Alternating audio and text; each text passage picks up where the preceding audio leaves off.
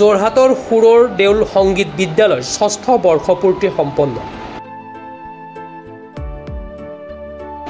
যোৰহাটৰ সুৰৰ দেউল সংগীত বিদ্যালয়ৰ ষষ্ঠ বৰ্ষপূৰ্তি উপলক্ষে আজি মহাপুৰুষ শংকৰদেৱ কলা কৃষ্টি গৱেষণা কেন্দ্ৰৰ প্ৰেক্ষাগৃহত এখন গাম্ভীৰ্যপূৰ্ণ অনুষ্ঠান অনুষ্ঠিত হয়।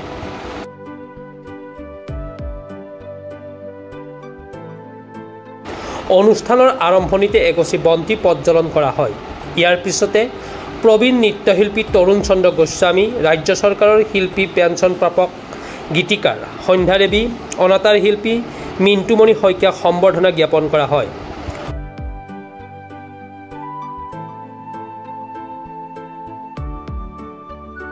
অনুষ্ঠানত সুৰলদেউৰ সংগীত বিদ্যালয়ৰ স্বত্বাধিকাৰী বিশিষ্ট চলচ্চিত্ৰ পৰিচালক সুৰকাৰ গীতিকাৰ জয়ন্ত নাথৰ ষাঠি সংখ্যক অপজাদিন উপলক্ষে বিদ্যালয়ৰ শিক্ষাৰ্থী আৰু অভিভাৱকসকলে অপজাদিন অলপ জনায়।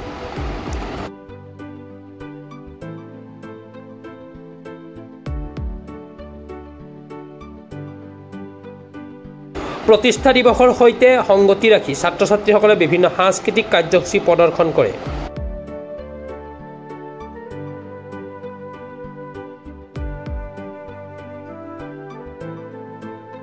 উল্লেখযোগ্য যে ষষ্ঠ বৰ্ষপূৰ্তি উপলক্ষে সোতৰ মেত অসম সাহিত্য সভাৰ কেন্দ্ৰীয় কাৰ্যালয়ৰ তিলোত্তমা বৰদলৈ প্ৰেক্ষাগৃহত সত্ৰীয়া নৃত্যৰ প্ৰতিযোগিতা ওঠৰ মেত একে স্থানতে অসমীয়া আধুনিক গীতৰ সৃষ্টিশীল নৃত্যৰ প্ৰতিযোগিতা ঊনৈছ মেত অসম ভিত্তিত নিৰ্বাচিত অসমীয়া আধুনিক গীতৰ প্ৰতিযোগিতা অনুষ্ঠিত হয়।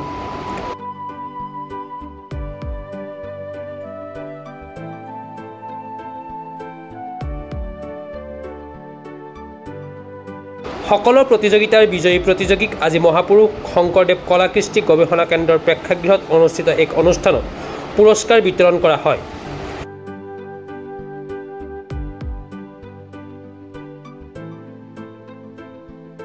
দীপাংকৰ বৰাই আঁত ধৰা অনুষ্ঠানটিত যোৰহাটৰ বহুকেইগৰাকী গণ্যমান্য ব্যক্তি উপস্থিত থাকে।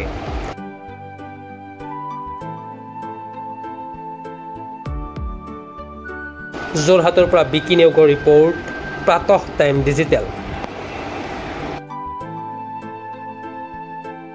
শদিয়াৰ পৰা ধুবুৰীলৈ বৰাকৰ পৰা ব্ৰহ্মপুত্ৰলৈ সকলোৰে মাজত চিনাকি এটা নাম প্ৰাতঃ টাইম থলুৱা ভাষা কৃষ্টি আৰু সত্য বাতৰিৰ আধাৰত প্ৰতিষ্ঠিত খবৰ প্ৰাতঃ টাইমৰ প্ৰতিটো বা বাতৰি পুংখানুপুংখভাৱে চাবলৈ Facebook YouTube website Twitter Instagram আৰু ব্লগাৰ পেজত লাইক আৰু ফ'ল' কৰক।